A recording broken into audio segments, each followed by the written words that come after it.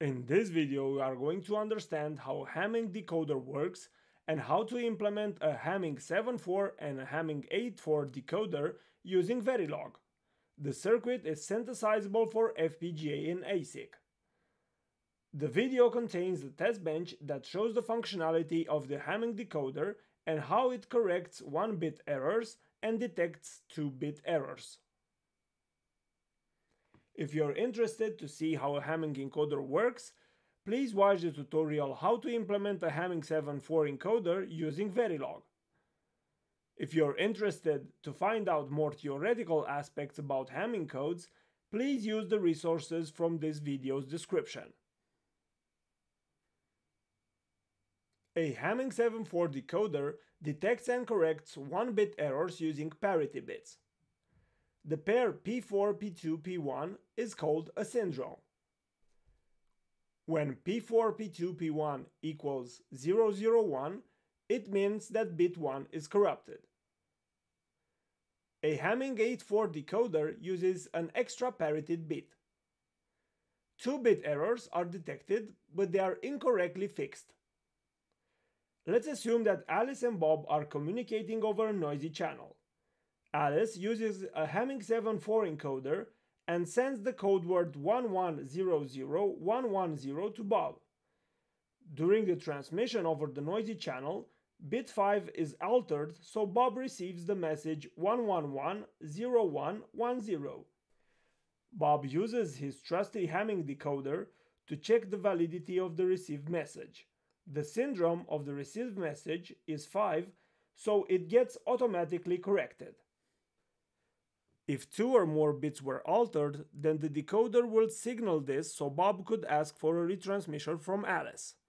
This simple and effective system is very popular with safety critical applications like aerospace, automotive, critical servers, or financial data.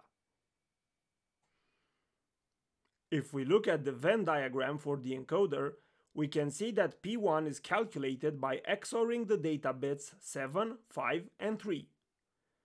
This can also be observed in the small circuit schematic of the encoder.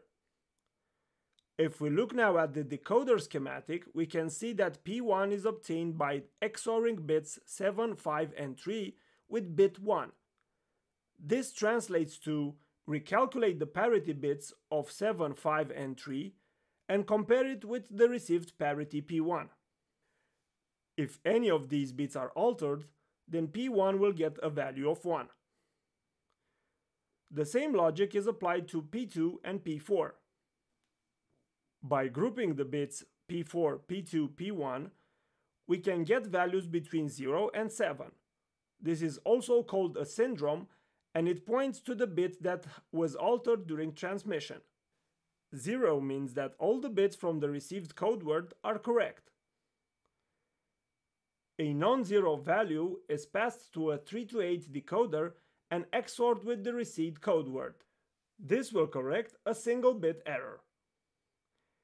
A Hamming 8.4 decoder uses an extra parity bit so it is able to distinguish between 1-bit and 2-bit errors.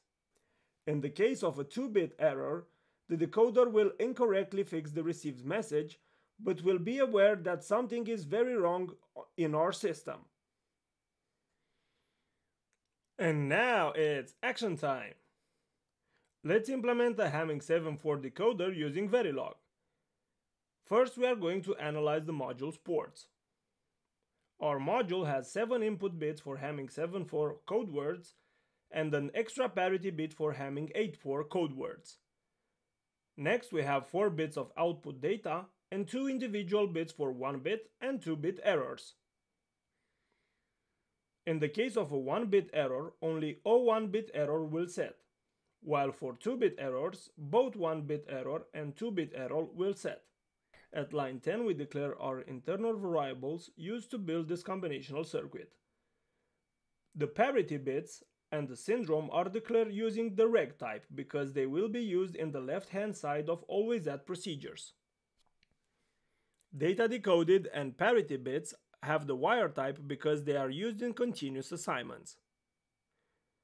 If you want to easily master Verilog coding styles, I recommend you the Udemy course Verilog HDL Fundamentals for Digital Design and Functional Verification. At line 17 we use an always at star procedure to create the parity bits. I grouped all three bits in the same procedure to make the code more compact. At line 24 we create a 3 to 8 decoder also using an always at star procedure. We concatenate the parity bits and feed them to a case statement that outputs a 1 hot syndrome value. The default line covers the zero case when we have no errors. Writing a decoder in this manner will give you the best synthesis results for FPGA or ASIC. At line 37 we create the data decoded value that is the XOR between the syndrome and the input data. At line 40, we recalculate the parity of the 7-bit input message. This is used by the Hamming 8-4 decoder. If we have a 1-bit error, then the calculated parity will differ from the input parity. If we have a 2-bit error, then the input parity will be the same as the calculated parity, but the syndrome will be non-zero. This is how we separate between a 1-bit error from a 2-bit error. At line 42, we calculate the output parity errors. There are multiple ways for implementing this, but I decided to use the one that you see. One bit error is asserted whenever the syndrome has a non-zero value. I use the Verilog OR reduction operator to create a 3-bit OR gate from the parity bits. The logic for the 2-bit error at line 43 reuses the 3-bit OR gate and also compares the value of the input parity and the calculated parity. At line 48, we extract a 4-bit output data by using a continuous assignment. This doesn't consume any logic gates. Voila, we implemented the Hamming 7.4 and Hamming 8.4 decoder using Verilog. As you can see, the decoder is made mainly from XOR gates, which are used to calculate the parity bits, the syndrome, and the output data. Let's create a simple test bench for our Hamming decoder. First we set a timescale of 1 nanosecond by 1 picosecond. At line 6, we declare the test bench variables that will be connected to our DUT. We use reg for the inputs and wire for the outputs. At line 13, we instantiate the DUT and connect its ports with the test bench variables. At line 21, we have our test scenario in an initial procedure. At line 23, we use the dollar monitor to print the changes on the variable connected to the DUT. At line 27, we use on iData all the 16 Hamming 7.4 codes. I added an underscore to separate the parity bits for the input data bits. The parity is calculated after every update of iData by using the XOR reduction operator. At line 44, we create a 1-bit error on the Hamming code for decimal 0. We intentionally flip bit 0 while correctly setting the parity with a 0 value. The decoder should be able to automatically correct this error by calculating the corresponding syndrome. At line 46, we emulate another 1-bit error on the code word for decimal 0 by toggling bit 4. At line 48, we emulate a 2-bit error for the same code word. This error should be detected, but the output should be incorrectly fixed. At line 51, we send the correct code word for 0 again.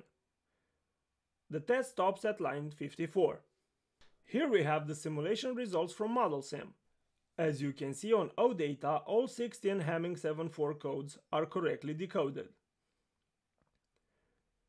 Next we see how the syndrome values are updated each time a 1-bit error is detected.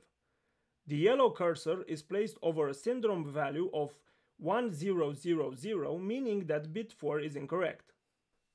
For the first two 1-bit errors we have O data equals 0 and O 1-bit error asserted. The 2-bit error sets O 2-bit error and as I said, O data will be incorrectly decoded so it gets a value of 9 instead of 0. O 1-bit error remains asserted as the syndrome has a non-zero value.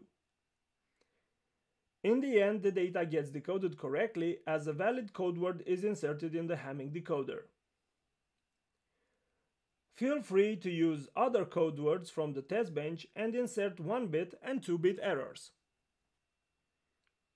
If you like this tutorial and you are interested in a practical and easy path to learning Verilog for FPGA or ASIC design and verification, I gladly recommend you my Udemy course called Verilog HDL Fundamentals for Digital Design and Verification.